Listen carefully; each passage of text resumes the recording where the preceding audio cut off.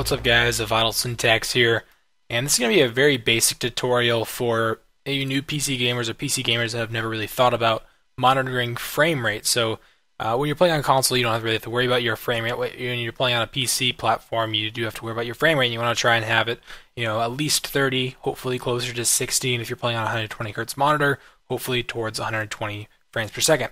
Now, some games have built-in frame rate monitoring um, console commands that you can enable, but if you want to be able to monitor your frame rate in every game that you play, then you can download a couple different tools that allow you to do that.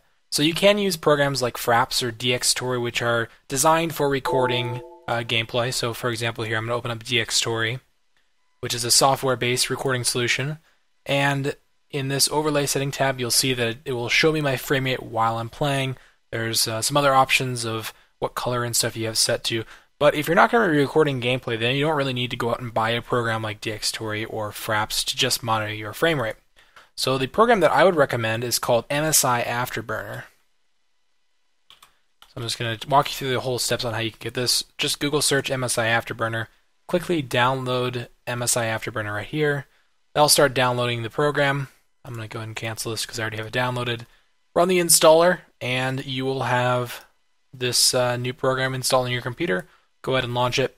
Now, this program also allows you to do overclocking to your graphics card, and I would strongly recommend people overclock their graphics card um, if it's capable of being overclocked in the first place and it doesn't have any heat issues, because it's basically free performance that you're going to get uh, from your graphics card. Now, I'm not going to go over that in this video. If you guys would like, I might be able to do an overclocking tutorial, but go ahead and click the uh, settings button down here at the bottom right, and you want to go to monitoring tab Scroll down here and you can see frame rate. Go ahead and press the checkbox here and then check the uh, show in on-screen display option.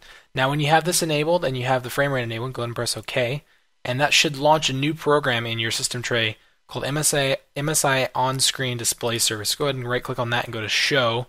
So this is actually Rivatuner, which Rivatuner is kind of part of MSI Afterburner. You can see down here it says powered by MSI or powered by Rivatuner. And this is actually an on-screen display that allows you to monitor your frame rate. So you can set it to launch with Windows. You can say show on-screen display or turn it off. I would suggest setting the application det- detection level to low and stealth mode. Turn that on. Those are going to give you the best, um, I guess, chances of you know not having issues with other overlays like the um, Steam overlay or the Origin overlay.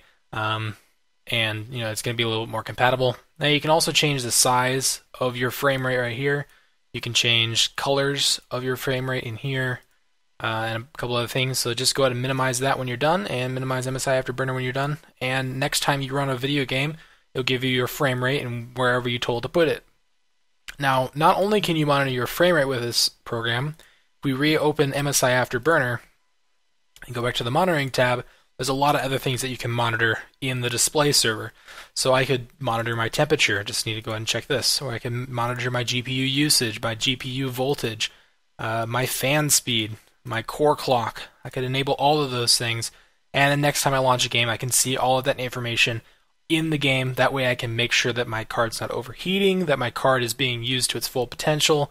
I can see how much memory I'm using. That way if I'm, you know, I have a, a, an extra couple megabytes or 100 megabytes so of memory not being used. Maybe I can turn up the textures. Maybe I can turn up some of the other graphics settings to take full advantage of my graphics card.